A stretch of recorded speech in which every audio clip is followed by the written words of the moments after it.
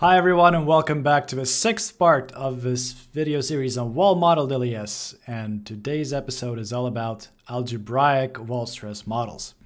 Alright, so in order to arrive to an algebraic wall stress model, we're going to start with the ODE formulation here. Uh, might want to recall that this Fi is the effect of uh, pressure gradient plus the effect of uh, acceleration term.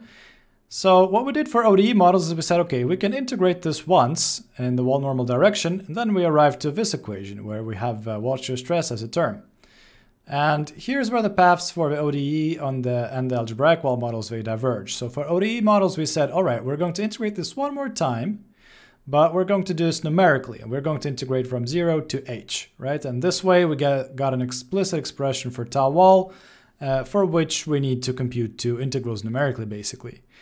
Now, for wall stress models which are algebraic, we instead uh, say like this. So assume that this ODE is actually solvable. So we can analytically solve this, right? So we have some nice nu t, etc., etc. So we're actually in a position to integrate this once more analytically, not numerically.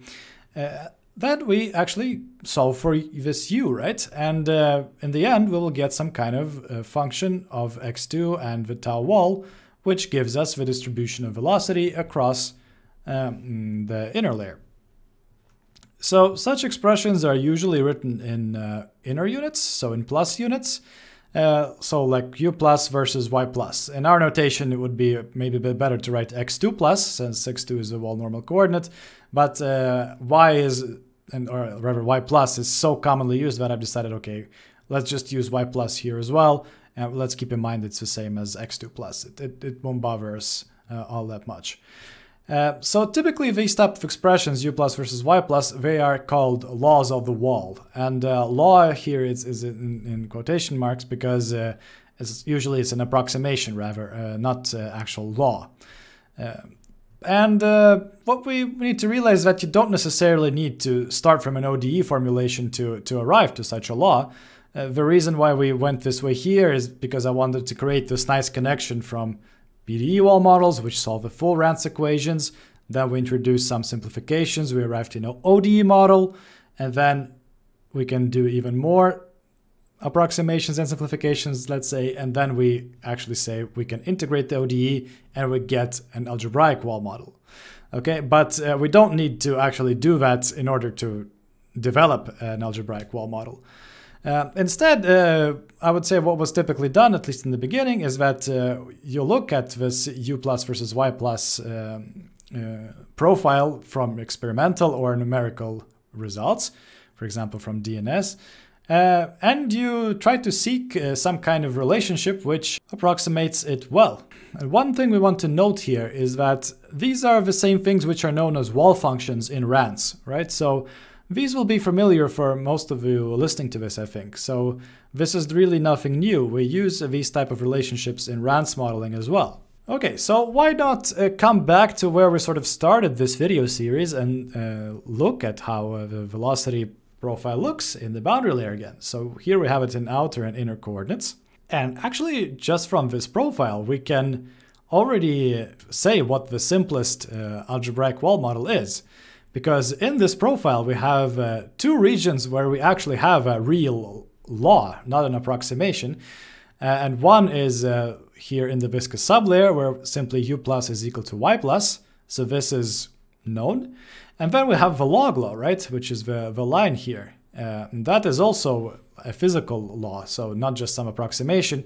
And it looks like this. Then one can discuss what uh, these constants are and what they should be. And that's, I guess, an ongoing uh, uh, well research on to calibrate them perfectly and there's Reynolds number effects and so on and so forth uh, in the low Reynolds number region. Uh, but we can say that maybe for at some at some Reynolds number and above, these become constant and we, our job is to determine them as researchers at some point, and already we have very good uh, ideas about what values we can choose. So this is actually a real law, right? So this is basically the simplest uh, uh, wall function we can use. Uh, so um, let's see how it works in practice really.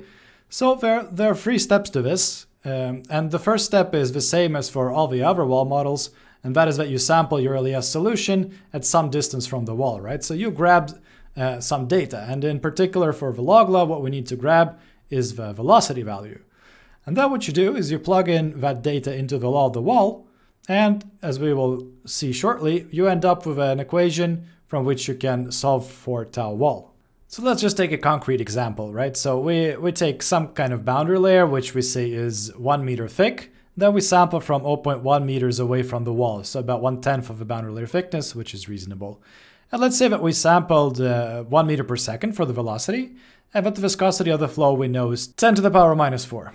Let's settle for some constants for the log law, so for example kappa 0.4 and b equal to 5.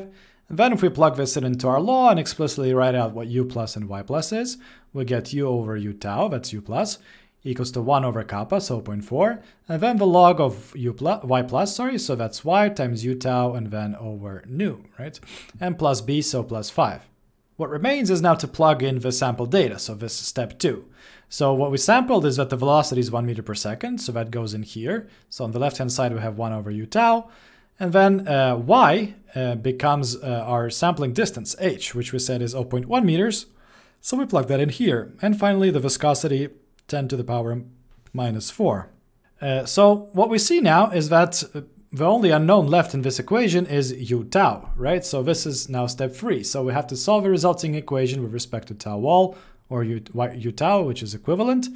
And uh, we see that, that, yeah, in fact, that's the only unknown left. So we have this algebraic equation, which we have to solve some, somehow. And uh, yeah, what we can employ is one of the many uh, different uh, solvers for algebraic nonlinear equations. Perhaps the the go-to approach is just to use Newton's method. Uh, and then we get our u-tau approximation. Right? So this is how the whole process works. So I hope there is nothing uh, hidden anymore. So what are some of the other algebraic wall models besides for this uh, log law? So there are several models which are equilibrium, meaning that they don't account for the pressure gradient and uh, acceleration term, uh, which sort of build on the log law somehow. So two examples of this is Reichardt's law and Spalding's law. And the idea with these two is that they cover the log law, but they also cover what is beneath it. So you get sort of an approximation of, uh, of the whole profile from the wall and up to the end of the log law. The good thing about that is that, for example, if uh, there's some well, some kind of complicated flow and you don't really know how to set the sampling point, it may be so that you're closer to the wall than the log law, and then it's good that your uh, wall model still is sort of applicable. Uh, so here's a picture of this is Spalding's law uh, versus DNS. So the blue line is a DNS of a, uh, I think this is channel flow. Uh, and then the orange line is the Spalding law, so you can see that it's exactly straight here, approximating the log law. And then it connects somehow to this linear region where it's, of course, exact. Um, so yeah, it's a pretty good approximation, right? Reichardt's law is pretty much the same thing. Um, then we have a Werner-Wengle model, uh, which is a bit special, but I, I, want to mention it because it's been used in several papers. And here it actually doesn't assume a log law. Instead, we say that it's a power law. And that's uh, something that has been in the literature also for a long time. Uh, so power laws instead of log law uh, for the velocity profile. I think there's this one seventh power law, for example. Um, and also the good thing about this model is that it is explicit. So you actually don't arrive to an equation for uh, u tau, rather you arrive to an expression for u tau. You just have to plug in the numbers and you're done. So that's uh, actually quite nice. Um, and then there are several models which try to account for the so-called non-equilibrium effects, right? So the pressure gradient and the and um, acceleration. And there are several of them. So here's a list of uh, three different ones. So Shih's law, Afzal's law, and Nichols' law. So uh, there's some stuff to choose from. So here's some pointers to the literature regarding the laws we just discussed. We have Reichardt first, 1951. Unfortunately, you have to brush up your German for this one. Uh, then there's Spalding, 10 years later, 1961, a single formula for the law of the wall. Then there's Werner Wengle, 30 years later, 1991, Nichols, and Shih, the one that uh, introduced the pressure gradient inference, influence, uh, 2003 and 2004. Uh, I think the Shih one is actually originally in a 1999 report from uh, NASA, but uh, this is just a more modern publication in which you can find the, uh, the relevant information. I also wanted to include some more modern developments here for those who are interested and want to look at what's sort of uh, developed right now. Uh, the first paper here is from 2015 uh, by Yang and colleagues, a very interesting paper about an integral wall model. And uh, here what they do is that they assume uh, a particular velocity profile, but they say that the uh, coefficients in this profile are going to be dynamically solved for, adjusting for different uh, physical flow conditions. Uh, a very interesting approach. You can take a look uh, if you follow this link. Uh, then we have a very fresh paper 2019 from um, Japanese group, Suga and colleagues, and also an algebraic non-equilibrium wall stress modeling. So um, you can take a look here and I believe uh, they actually start with an ODE formulation here and then uh, perform the integration. So just like we discussed in the beginning of the video.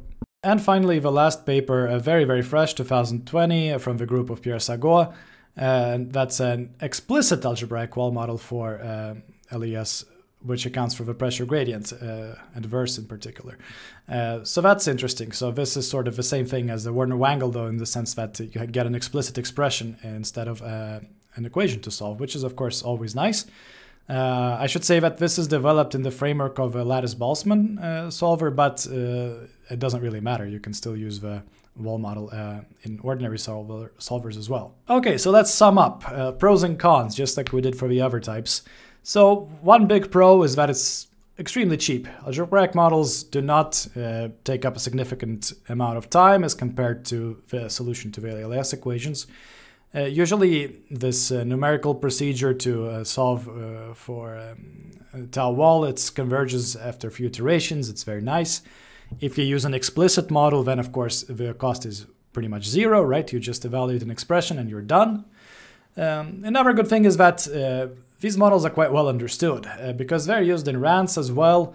So everybody sort of knows what you're talking about. If you refer to such a model, people understand what a wall function is, and that's that can be nice. Uh, I think for the same reason, it can be said that they're also the most widespread. Generally, most of the computations which are done, I think, are still by far with uh, algebraic wall stress models. Uh, now regarding the cons, so one small con is that uh, this iterative approach uh, for example, this Newton method, if you use it, it needs uh, some decent initial conditions to start with. Because if you start, for example, with, uh, well, let's say that you start with uh, some constant velocity in the whole domain, uh, which may be, for example, too large compared to what you actually get at the wall, and then you start with a horrible guess for the Newton's method and it uh, diverges or something like that. Uh, that can happen. So, but there's of course ways to avoid it. One one way, for example, which I typically use, is that you first run without a wall model. You maybe solve for one flow through time, and uh, by that you get sort of decent uh, velocity values in your domain, and then you can start uh, the wall model and uh, things work perfectly fine. But this is just something to be aware of. Um, and then the second con is, well, that most of the classical models that we saw, they are meant for flat walls with no pressure gradients, right? So there are newer developments, but again, here we can return to the discussion that we had for ODE models, and that is whether is it appropriate to actually only have the pressure gradient effects but not consider the acceleration term. So this is, as I understand it, the same discussion here as it was uh, for the ODE models. All right, uh, so this concludes the section on algebraic wall models. We're very, very close to approaching uh, the practical part uh, where we're going to start looking at such things as how do we mesh and how do we set up the case and things like that. Uh, but we have some things left which I want to discuss. Uh, so the next video is going to be still on theory. And um, I just want to take one video to look at the errors which arise in uh, wall, wall stress modeling and uh, uh, where they come from and uh, then we will use that information when we discuss the case setup so that we can avoid them. If you want to make sure you don't want to miss the next videos, so go ahead and subscribe to the channel and see you next time. Bye.